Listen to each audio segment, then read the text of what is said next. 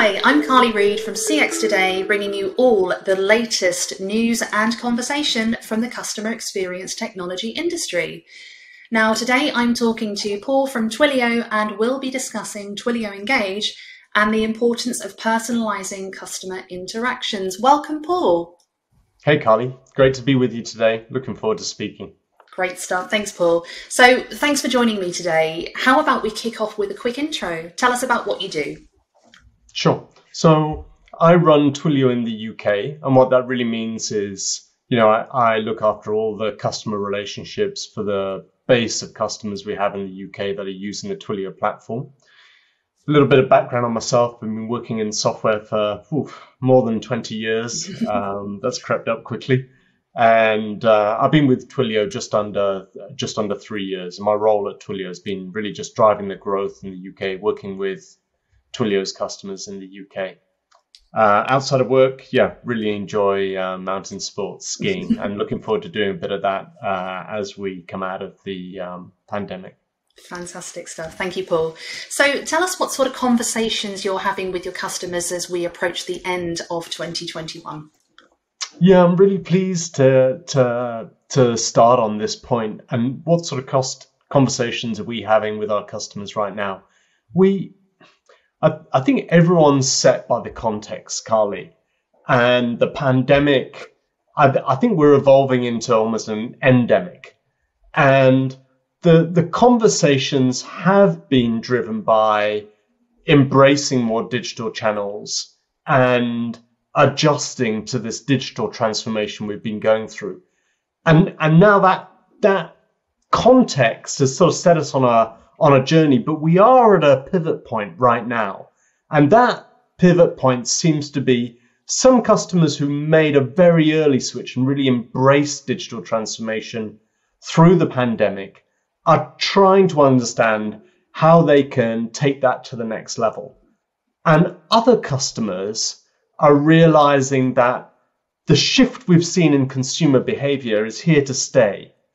And they're trying to establish what, what plans can they make for genuine transformation. Understandably, some customers have gone through the pandemic trying to figure out what what what is actually going to be the the the the next phase of normal, whatever normal is. And I think some trends are becoming what what is clear for both these sort of cohorts of customers and the conversations we're having is that they they know they need to embrace digital transformation.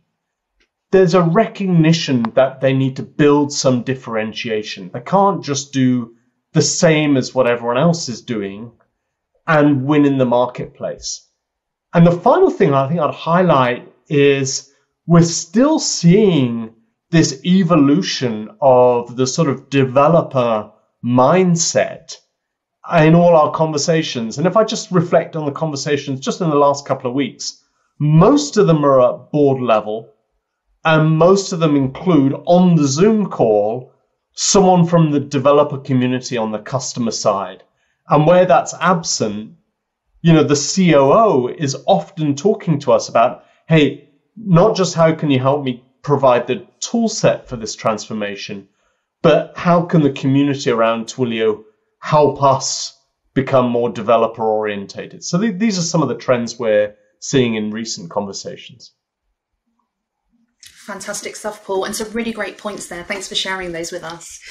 Um, so you guys have last week launched Twilio Engage. Exciting news there. Um, what will this mean for the customer experience world? It's a good point. What is it going to mean for the customer experience world? Well, Twilio Engage is an exciting evolution from Twilio in terms of offer, our offerings.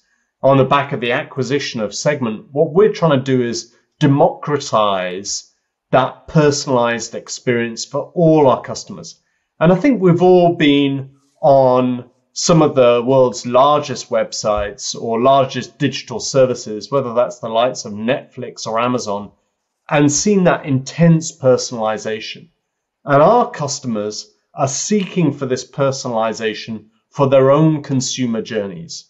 And Twilio's bringing that to market with Twilio Engage, where we're providing a data up, data first led engagement platform, leveraging the Twilio segment technology, but we're also leveraging and pulling in all Twilio's experience and global reach on data channels to be able to bring the two together and, and offer um, a marketeer and our customers the opportunity to really plot a consumer's digital journey. Brilliant stuff. Thanks, Paul. And how important do you think it is to personalize every customer interaction? Well, I think personalization's the, the future, Carly. I, I think this is this is where it's at. Is you know, no no one's going to be reaching out with with just uh, bland and generic messages. And I think all of us can recognize some of that in our own personal inboxes.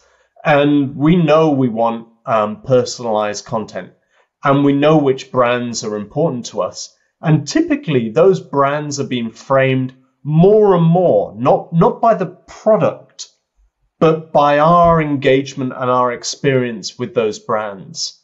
And I think this is true from from the sort of generic consumer um, brands such as utilities, all the way through to highly personalized brands that you might find in, say, consumer fashion.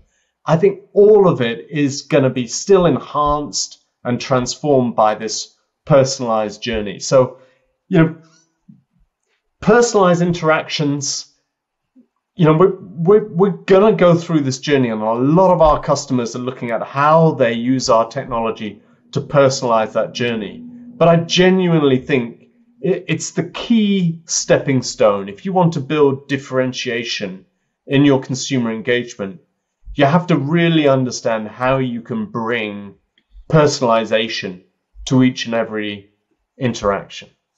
Brilliant. Thanks, Paul. And how important is it to keep customers in their channel of choice, particularly post pandemic? Yeah, I mean, well, you're you're pulling together a number of really important threads there, Carly, like post pandemic and how important are these digital channels or the channels of choice. I mean, I I think a couple of customers have really shone a light on it for for me where they're really highlighting hey, if a customer wants to engage with us on voice, then we need to make that voice experience as personalized and as effective as possible. And at the same time, we are seeing, and just yesterday I had a conversation with a with a customer, you know, that they, they want to lean into messaging, and yet they know they've got a cohort of customers who want that experience in WhatsApp. And what's important for them is to be able to provide the, the personalized interactions that we spoke about a minute ago, but to be able to do that in the channel of their choice. And I, I think this is the, the this is like one of the main crux that you have to get over in in terms of building out your differentiation is to a large degree, the consumer is going to define the channel of choice. And what you need to be able to do is respond to that, but, but do so in a way that allows you to still track and create and enhance that personalized journey through the interactions. Brilliant stuff. Thank you, Paul. And I've really enjoyed speaking to you today. So thank you so much for joining us. Hey, Carly, it's just been great to join CX today, and thanks so much for your time today. Oh, thank you so much. And we look forward to speaking to you again in the near future. So that's it from us. If you've enjoyed our conversation, then please do give us a shout out on social. And if you're a CX fan and want to see more like this, then you can subscribe to our weekly newsletter at cxtoday.com. I'm Carly Read from CX Today. Thanks for watching.